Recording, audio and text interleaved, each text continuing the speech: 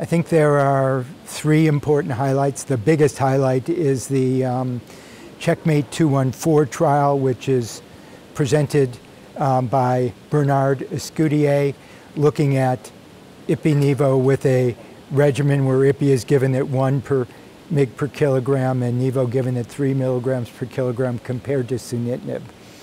And we saw in this phase three trial higher response rates, higher PFS, and significantly improved overall survival for the immune therapy compared to sunitinib.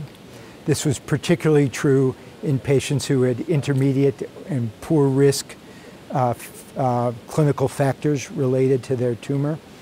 Um, and the Ipi-Nivo regimen was looked like potentially better tolerated than sunitinib as well. So to me, that suggests that Ipi-Nivo is going to be the, come the standard of care front line for patients with metastatic kidney cancer and that sunitinib and pazopanib are going to be used a lot less. Um, two other studies that I think are important here.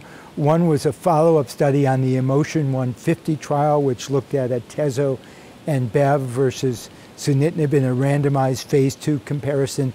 And what the poster looked at was how the two arms behaved if you looked at instead of strict RECIST criteria, but immune related RECIST criteria.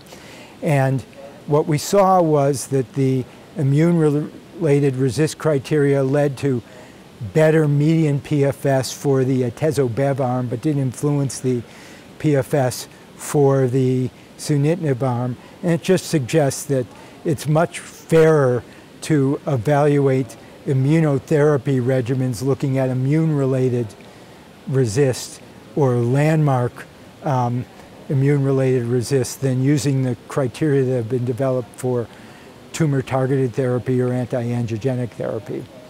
And the third trial that I think has impact that was presented here was an update of the Cabo-Sun trial, which was looking at cabozantinib versus sunitinib in patients with intermediate and poor risk patients. And it updated overall survival data, which showed that the overall survival data was better for cabozantinib than sunitinib as well.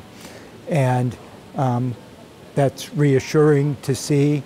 Probably will support approval for Cabo-Sun in the intermediate to poor risk patients in the, for Cabo in the intermediate to poor risk patients in the frontline setting. But I'm not sure that it'll bump uh, Ipi-Nivo from being the preferred treatment in that patient population.